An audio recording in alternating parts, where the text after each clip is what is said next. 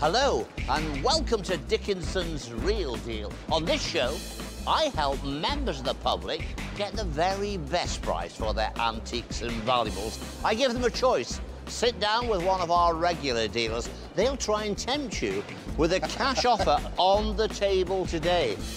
It isn't enough, I'm sorry. If I don't think that's enough money, there's an alternative. Place the same goods into an auction in the hope that you will get a little bit more money there. 75, 80. Today, the show comes to you from the beautiful town hall here in Walsall in the Midlands. There's a huge crowd of people. They've been here since early this morning. They've brought along their treasures. They want to do business, to either walk away with cash or gamble and go to auction. But either way, they want the real deal.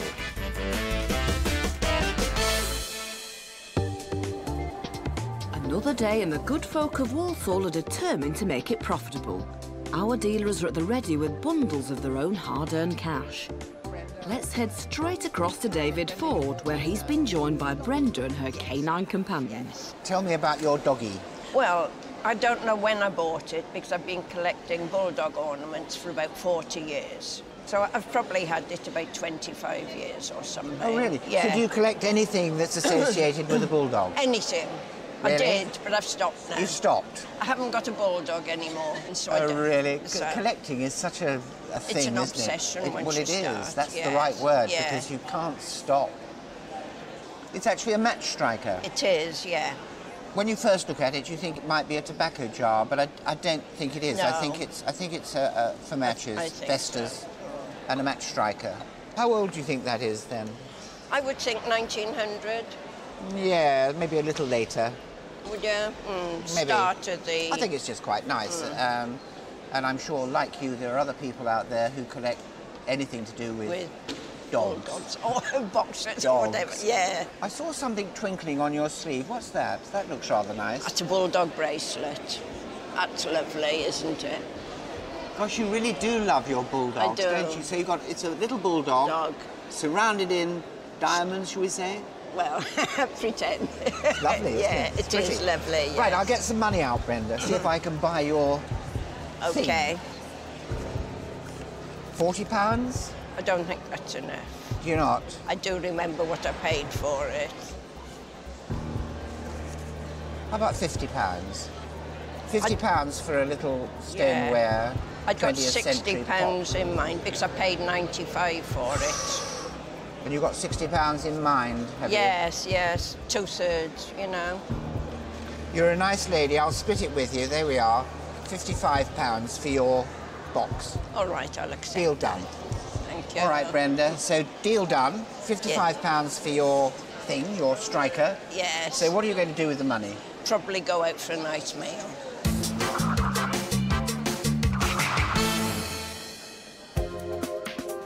From one tasty deal to another, we make our way over to Karen, who likes the look of her next you. item. And what a little treat you've brought in for me today.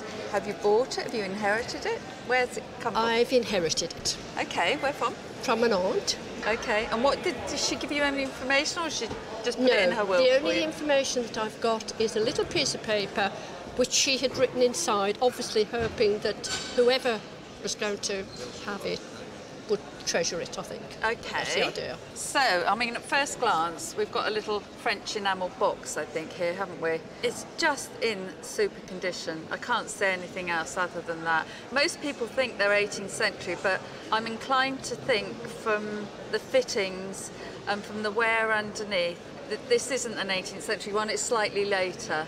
But it's still an antique box and it's still absolutely beautiful with these Watteau-esque style figures. Mm. And, and you, you're prepared to part with it now as it was a gift yeah, from your I, aunt? I, I've got to, I think. I've got quite a few things at home and, and, and they're not going to go anywhere really. you yeah. know. So you'd like to get a little bit of money for it and hopefully do something nice with it? Yes, I would. Yeah? And I Treat do. yourself? yeah? What do you do? Yeah. Have you got anything in mind? Uh, I'm saving for a holiday, yeah? Where to? hopefully abroad sometime next year. Mm, so I better uh, get me money out then. So I, I, I can see there's a gentleman in the wings. So before he gets here, oh, too late, he's on his way. David, look at this little treasure. I heard what you said about this fabulous enamel box, and I heard you say you wanted to go on a continental holiday. I thought I'd better keep my eye on this deal. and I know that our dealer is very generous, so Just a rumour, David. I'm going to get out of the way quickly. Okay. right. So I'm going to have to be on my best behaviour because I know he's keeping an eye on me I, at the I, did, moment. I did notice. right, okay. What am I going to offer you, Doreen? 20, 40, 60, 80, 100. You will stop me if I go beyond the money you need for your holiday, won't you? And you I say, will, Karen, yes, I've, a- I've got enough money now. Okay.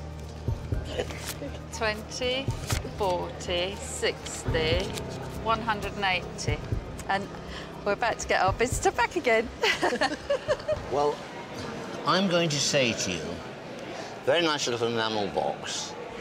I think what's on the table is very, very generous. Right. Our independent valuers, for some reason, have said 40 to 60 pounds, and I think they are very much on the low side. That certainly will go a long way to taking you away. So I'm going to say, pick up your money, enjoy it, and say to Karen, thank you, Karen, I'm going to have a great time on you. So come on, commit. Have we got a deal? Yes. Yes. Stick it there. Thank you very much. It's been a pleasure.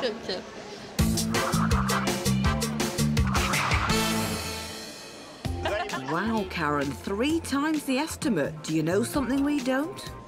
Now we pay a visit to Tony, where some decorative Dutch ceramics have arrived on his table. Hello, I'm Tony. You I'm are Jane. Hello, Jane. How are you doing? Oh, Having a good day so far? Yes, I'm really enjoying it, thanks. And what have you bought for me today? Just two small pieces that, you know, I thought it was be of interest.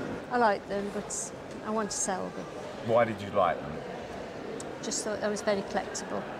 And have you bought them recently or had them long? You bought them recently, Yeah, have you? Oh, yeah. right. How recently? Three days.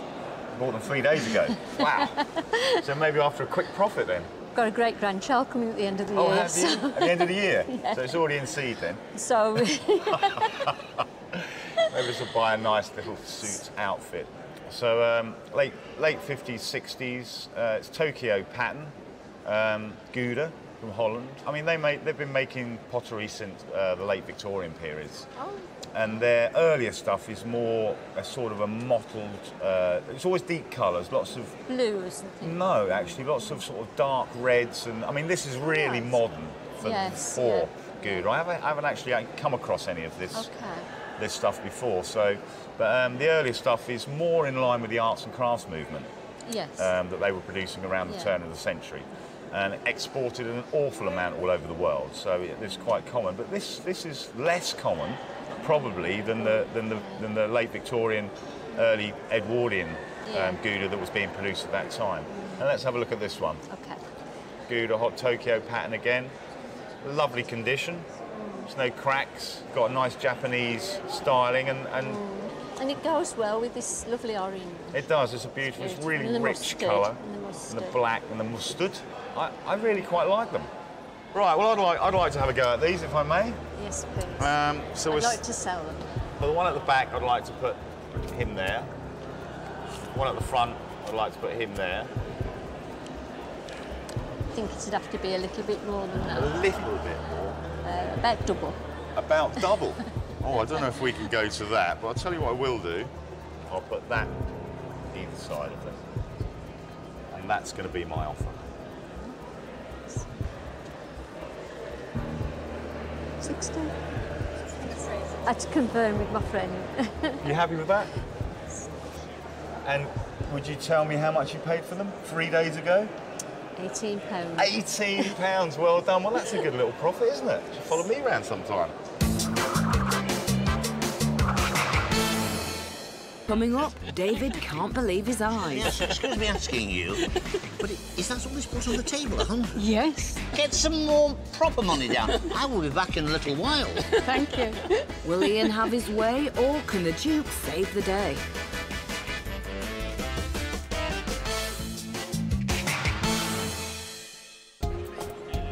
Welcome back to Dickinson's Real Deal.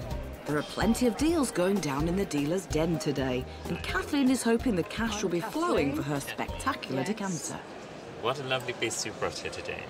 How did you get hold of this? Well, my mother was 105. She died in October. and I'm moving age. to a smaller house. I, it does need a lot of work done to the bungalow that I'm going to, and I don't really know who to leave it to. I mean, it's a lovely piece of silver overlay on green glass. The decanter itself is in very good condition. The stopper is lovely, you know, hardly been used. I mean, it's been very well looked after. A lot of these uh, overlay pieces, when the people are cleaning them, they're a bit rough, and these lift Yeah. and snap and break. So you lose those pieces, and you can't restore them. No. Because if you try and make a piece and add it on, it just doesn't work. It just never looks the same. They usually came either as a pair or they came with six glasses or eight glasses. It's quite unusual not to have the glasses Yes. because they're very prettily done, very, very pretty. It's around 1880, 1900, around that sort of mm-hmm. period. I just think it's great, you know.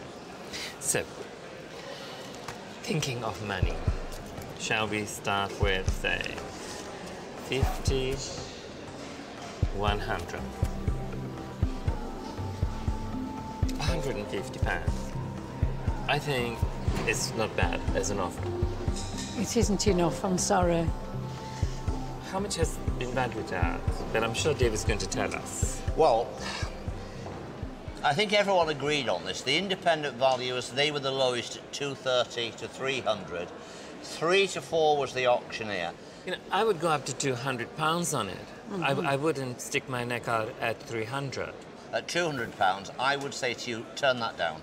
Because, Ian, in fairness, look at that object. it's lovely. You couldn't walk into any reasonable quality gallery that sold exotic smalls glassware. Mhm. You couldn't buy that No. for anywhere near that money. And I'm going to say to you, let's get to the auction and let's get somebody who really likes to have a great glass of wine.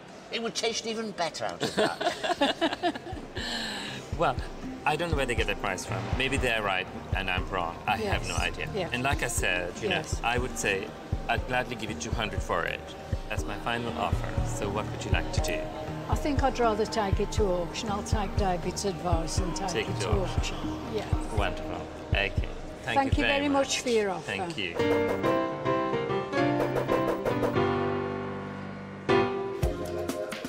Let's head straight over to the cell room to see if David's made the right call.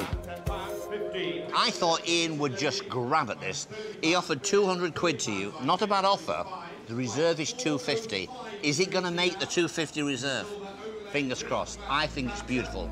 I am in at 200. 200 pounds I'm bid, 200 at 200 at 200 at 200 pounds.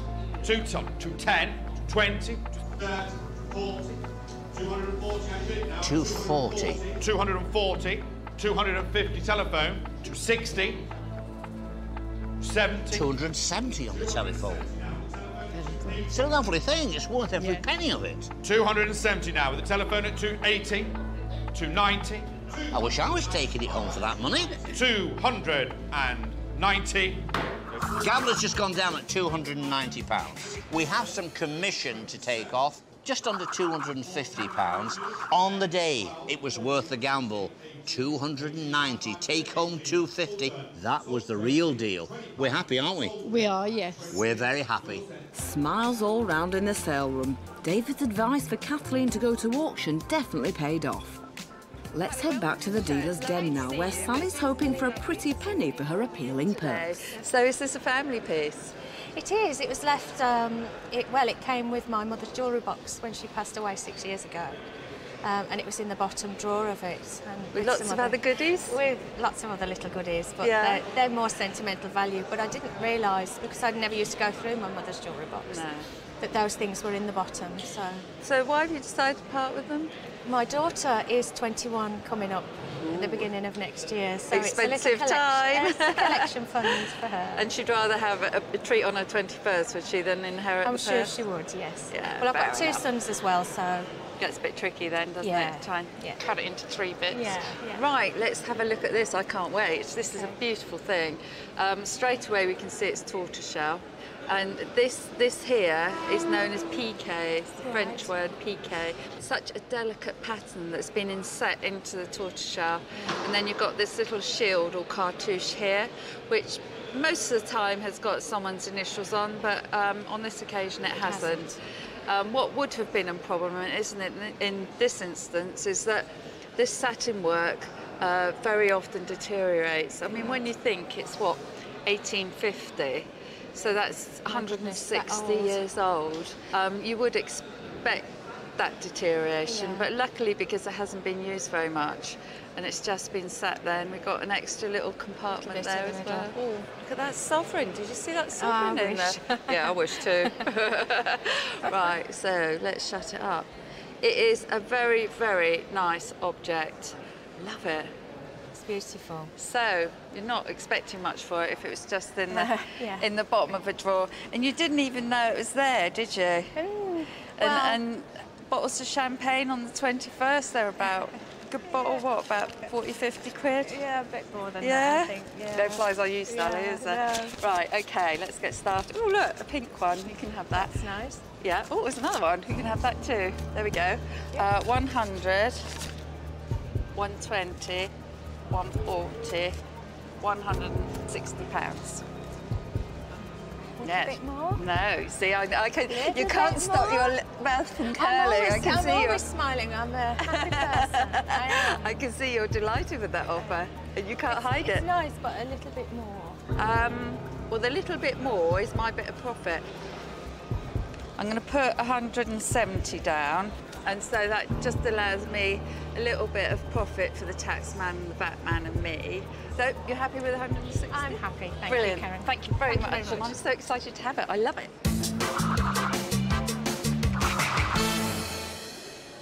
It sounds like Karen's over the moon with pocketing the purse, and Sally's smiling. A good deal all round. Next, we head across the dealer's den, where a real deal favourite has landed over with David Ford. So, Colin, you bought me in what looks very much like a Moorcroft plate. Correct, yes. So, how did you come to own a Moorcroft plate?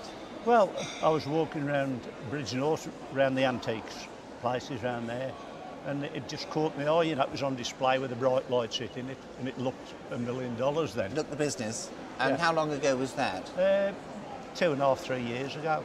So you would have paid probably quite a good price yes, for it then. Yes. I mean, it's it's a very nice plate. What is the flower? I think it's uh, a magnolia. isn't it? Magnolia. I think so. Yes, Yeah. magnolia. Yeah, I love Moorcroft. You know, it's a fantastic factory. it is. Yeah. Some of the earlier stuff can be very valuable. You know, Yeah. the Macintyre and Florian and Yeah. things like that. But this, um, just lift it up. This looks as though it's oh, it's still got your price ticket on it here. Um, this is sort of 1950s, that sort of. Yeah.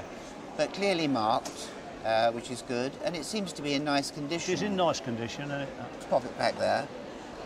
It's, it's a lovely flower, and it's a nice thing. It's a little bit late, Yeah. you know.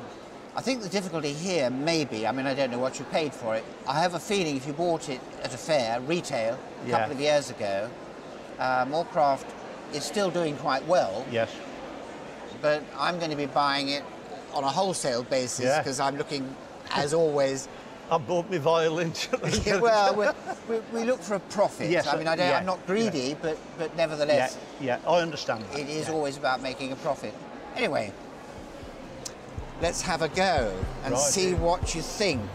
Let's start bold with a £50 note and add to that £10. No, I think it's worth more than that. You think it is? Yes. A little bit more, maybe. I might squeeze another tenner. £70. I think that's quite a sporting bid. Oh, here's David, well, he'll I'll, help us. I'll listen to what David's got to say. Well, I know what you paid for it, Colin, because Yes. I just had a look at the notes. You paid about 120 quid Yes. for it. Oh, right. Our independent valuers and auctioneer, they're saying 60 to 80, 70 to 90. What you've got to say to yourself is, can I go to the auction and can I get more, allowing for 15% deduction? Yes. David might be prepared to put a little bit more on, so wait and see. Okay, no. Right. Yeah. Helpful advice? Yes. Yeah. Always is, isn't it? Yes. Very constructive. So, £70, Colin.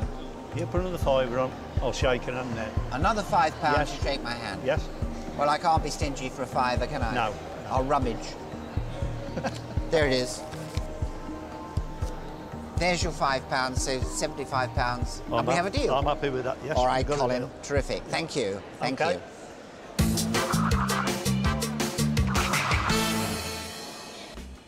Still to come. You want much more? Yes. A lot more? Keep going and I'll tell you when to stop. I bet you tell me when to stop. And I've got no money empty. left in my hand. Find out if Mr Sparkle can resolve this debacle.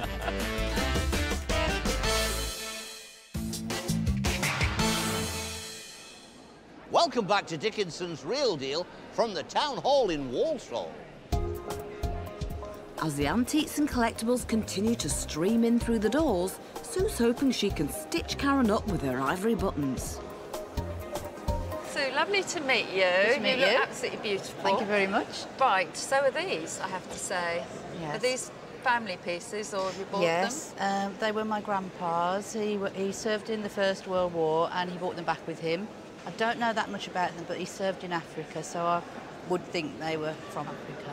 Well, they're elephants, aren't Well, they? Well, they are elephants. So are, are they African elephants or I- are I they Asian know. I elephants? don't know. How big are their ears? Because Asian elephants Yes. have got little ears. Oh, right. And Africans have got big flappy Oh, ones. right, okay. So small, I think. I think they are Asian, and my gut instinct they're probably Chinese. The Chinese used to Oh, love making beautiful objects out of ivory, Yeah. and I and I can see those on a kimono or something like that, can't you? Yes.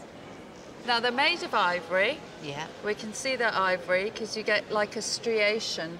Um, Oh, right. Bit like the tips of your fingers here. You Yeah, know, you've got the yeah. lines on your fingers. You get that in ivory. If this is bone, you would get black flecks. So can you remember when he bought them back?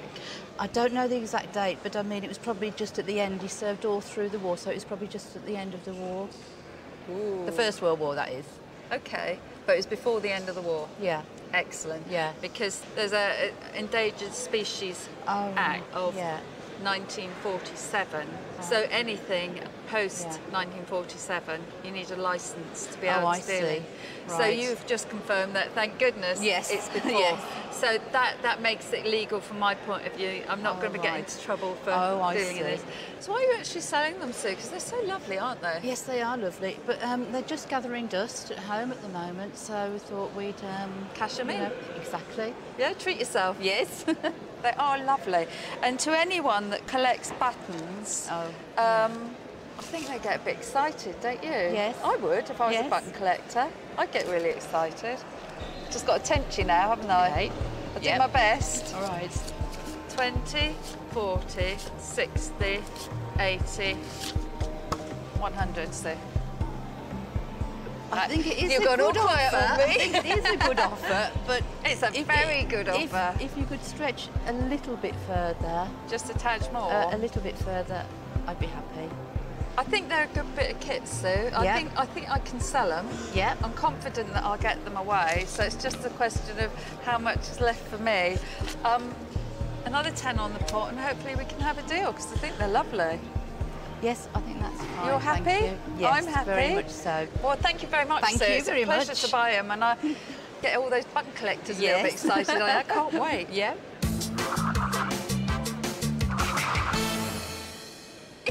Look out, all you budding button collectors. Karen's on the hump for a pretty profit. Let's go to Ian's table, where he's been presented with a pair of plaques. David and auctioneer Richard Winterton are intrigued with the name associated with them. Hi, I'm Ian. Hello, I'm Sylvia. Sylvia. Two very lovely bronze plaques. Could you tell us a little bit about them? Well, we were having a clear out after my husband's mother died, and these were in the back of a cupboard. They'd been given to my husband Dave by his, gra- his grandfather, who'd won them. They were presented to him for growing vegetables. He must have won on two consecutive On two- years, and two occasions. Yeah, So they're never displayed, they were never, never used displayed, or anything. Never shown. No, they were black when I pulled them out. Decided to polish them up. Saw the name Hamo Thornycroft on the side and the year, and decided to look him up and the seed company. And I think the seed company's still going. The seed or company is still part going. of it, yeah. That's So- amazing.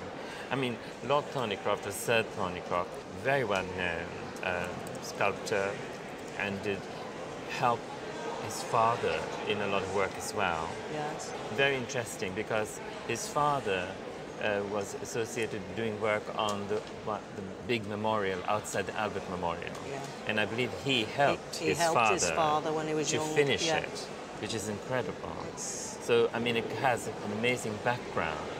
Where are you going to place your estimates? The independents have gone for a 350 to 500 pounds. Where are you going to go? I agree. I, th- I think they deserve to be at three to five for who it is. I, we can't insult it at 100, 150. Three to five, I think that's a good wide range. I think we should be around about that 300 to 320. I think we're disappointed if we can't get there, David. Are they Ian's cup of tea? Mm. Are they going to attract him? Are they bling enough for Ian? Well, let's find out. He's about to put some money on the table. I've never bought anything like this in the parks. No, it's unusual, I It's think. just different, yeah. You know what you want. I know what I want to pay. Yeah. 50, 100, 150, 200. You want much more?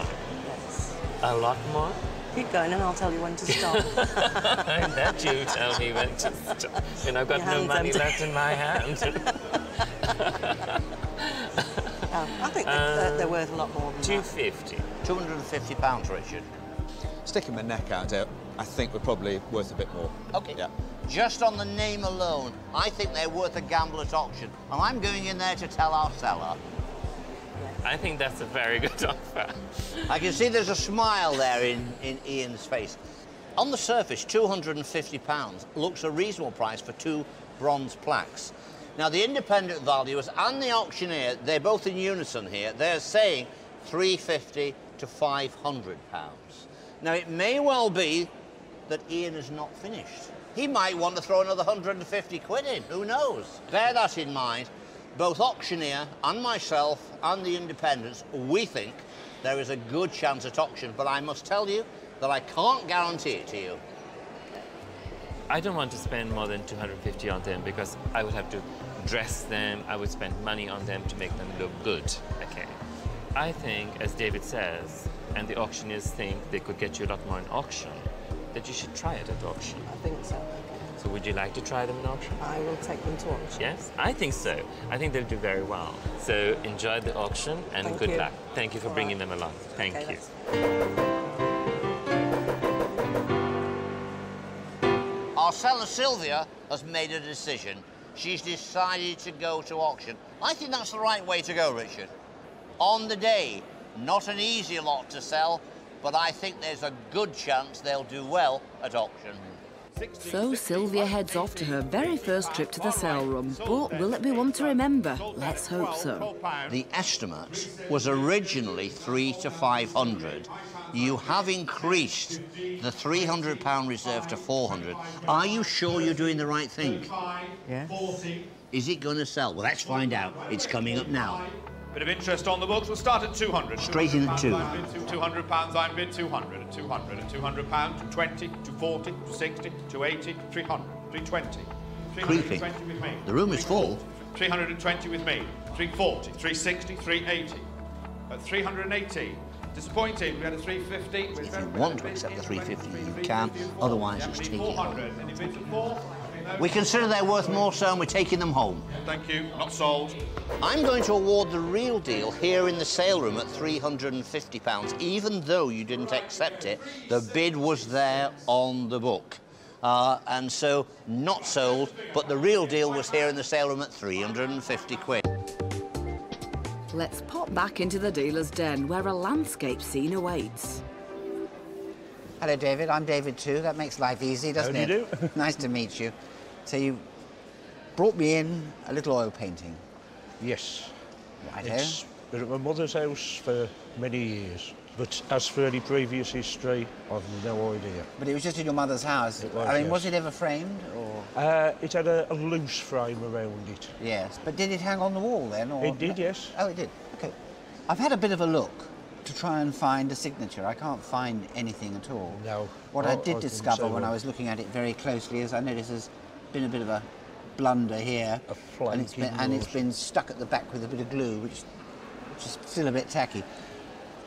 But I can't attribute it. I mean, undoubtedly it's a 19th century picture.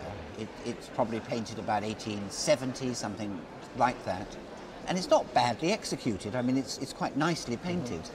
So it having stood on, you know, been in your mother's house all these years, what's made you decide to bring it in My mother sadly passed away uh, Christmas, and I'm having to clear her house away. And you don't feel you want to keep it? It's it's not a thing that'd go in Yeah. our house, but uh, it's too nice to throw away. It's, Well, it certainly is. somebody somewhere will probably get some pleasure out of it. Yeah, they will. I mean, it's, it's quite a nicely painted, and it's quite a nice composition. I mean, we've got some trees, and little cottages, we've got a little coach here. Perspective's a little bit odd when one looks at it and analyses that. But it's had at some stage some varnish put on it, which has made it turn a slightly sort of, well, almost a smoky look. I don't think it's, I don't think it's been in a smoker's house. I think it is the varnish that's discoloured and gone yellow. Um, what I'd like to do is actually just give it a gentle clean, get that varnish off, re-varnish it with good London varnish, Yeah. as we say, and I think it would come to life a bit. I think it's potentially quite a nice little picture. Um, thought there was a touch of the Hay Wain about it. well, that would be paying it something of a compliment, I think. No, no, we, we don't have a constable.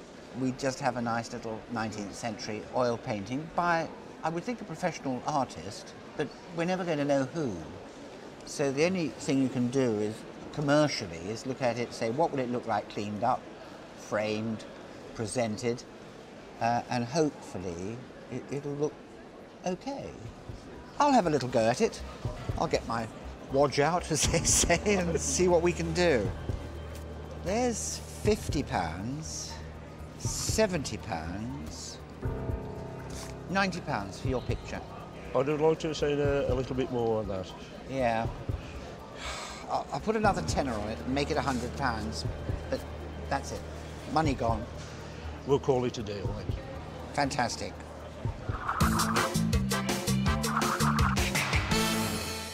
Coming up. In the red corner, we have dealer Tony the Tiger Gearing and our seller, Simon the Rocket Reed. In this final bout, they'll be battling over today's item of the day. But who will walk away victorious? Find out after the break.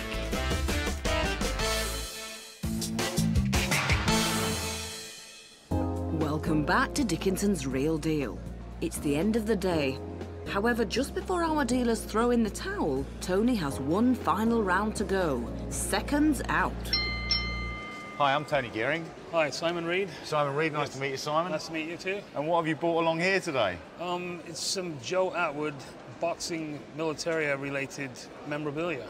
And Joe Atwood, wh- wh- when was he boxing? He was boxing in and around the, uh, World War One. So 1914, 18. 18, all, all the way up to 19. 18, 19, and um, he was uh, local to the Black Country. Like, So he's a local boxer? Yeah, that's right. Well, that's really good to, to, to have something local here. Did he win a lot? Was he a He has good- a really, really good record. Really? Yes. So he's a good record. bit of a slugger then? Yeah, he was. Some great pictures of him in his uniform. yeah. Great black and white picture there. They look as if they're sparring for the photograph, Yeah. though, having a little smile on his face. So I presume these are some of his war medals? Um, yes, this this one here is your your war medal, and here's your victory medal. Okay. The other one are presentation medals for winning. That, that's a nine This carat medal. Yes. Nine carat gold? Yes. And the other one is a, uh, a bronze medal uh, from. It was presented by General uh, Pershing. General, this was presented by Yes. to him. Yes. And uh, obviously these are his uh, certificates. Certificates. Yeah. entered into this day. Joe Atwood, three minute rounds to fight fairly and to the best of his ability under the National Sporting Club rules. So he only got paid 25% if you won, and Yeah. nothing if you drawed. No. and most of his fights were 15 round fights as well. Yeah, heavy, heavy stuff. How did you come by this, Simon? Um, a friend of mine um, that collects militaria, he was uh, selling some of his things off, and I always admired this and asked him if he ever sold it, if he'd consider selling it to me. So it came about, and, and I purchased it. I mean, I, I really wouldn't know where to start to value this this Right. this um, this collection, and I think it's something that you know you get two people at auction or two local boxing clubs, Right. You know, who want who want something in their club to have on the wall from a local guy. You know, you don't know where it's going to go. One, two, three thousand pounds. Right. So I'm gonna I'm gonna retract and say that I because I don't understand it, I think you should research it more, or just or take it to auction, and let let the people find it who who want it and understand it, and probably pay the most money for it. Okay. I really do believe you should take this to auction. So um, good luck with it. Okay, thank Thanks you very, much. I appreciate that. You're most Thank you. Sold then at 12.15. There was no offer on the day from our dealer, Tony. He thought it was not for him. There is a reserve of £1,200. Can I ask you what you paid for this originally, the, the collection? Uh, 900 pounds. Okay, so you paid £900, so you're not being unreasonable. The question is, is there a buyer here to take it to £1,200? Let's see if it punches its weight here in the sale room. So, interesting lot. I have a bid already at 1100. Straight in at £1,100. That's a good sign. Telephone. At 1100, 1200, 1300. 1400 on the telephone. It's 1400 on the telephone. At the telephone at 14, 1500. 1600 is being sold on the telephone at 1600. £1,600, a real knockout punch. Take away the commission, you're going home with £1,360. Happy? I'm very happy, thank you. Punched way above its weight. That's the real deal. Well done, Simon. A great return on your original £900 outlay. Tony was right, the sale room was the place to be. Here we go then. It's the all-important roundup to find out how well our dealers have fared with their items. Just the one item for our Tony today. I really quite like them. He liked them so much they're enjoying pride of place on his windowsill at home. Unfortunately, it was a bit of a tricky day for our Karen. Well, the little bit more is my bit of profit. She only managed to break even on the little porcelain box after selling it for £180. I can see you're delighted with that offer. Since the dealer's day, Karen has admitted she may have paid slightly over the odds for the coin purse, as it still remains unsold. David Ford, however, had a much more successful day. Deal done. Okay, Brenda, thank you very much. He managed to sell the doggy Vesta jar on for £60. Been a bit of a, a blunder here, and it's, been, and it's been stuck at the back with a bit of glue. In spite of the slight damage, David still managed to find a buyer for the oil painting for £140. I love Moorcroft, you know, it's a fantastic factory. It is. David sold the plate on to a collector for £120, the same price Colin paid for it. Our dealers have found it a hard slog today. However, from his original outlay of £900, we can unanimously declare Seller Simon the undisputed champion of the day. Thank you.